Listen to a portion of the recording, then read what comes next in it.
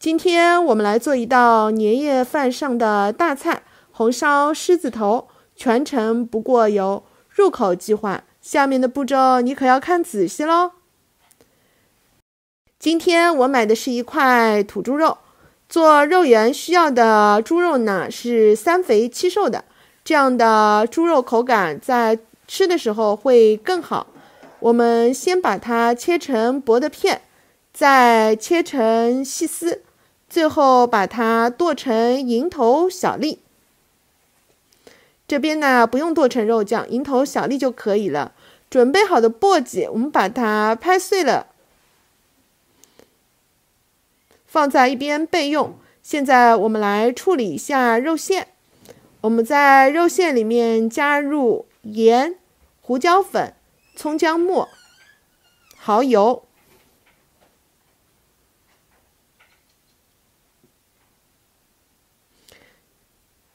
现在打入一颗鸡蛋，朝着同一个方向搅打上劲。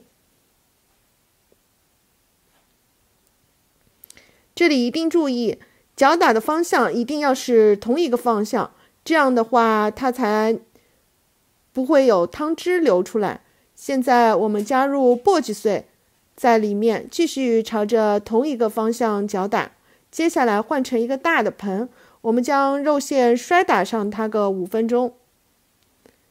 五分钟以后，我们可以逐次的加入葱姜水，然后继续将肉馅摔打十分钟。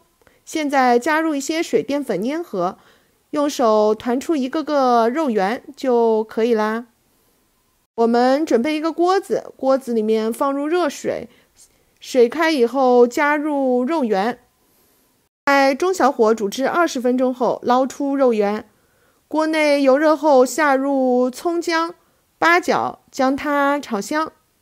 炒出香味以后，现在我们来调下料，加入生抽、黄酒、蚝油，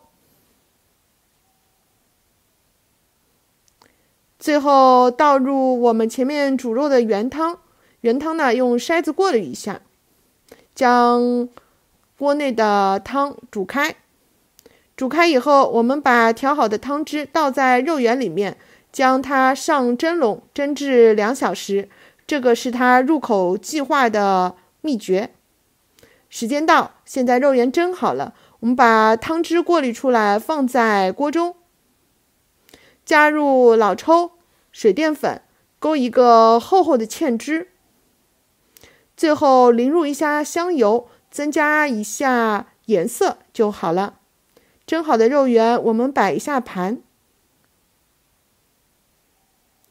在周围围上一圈青菜。现在我们给它淋上我们刚刚煮好的料汁。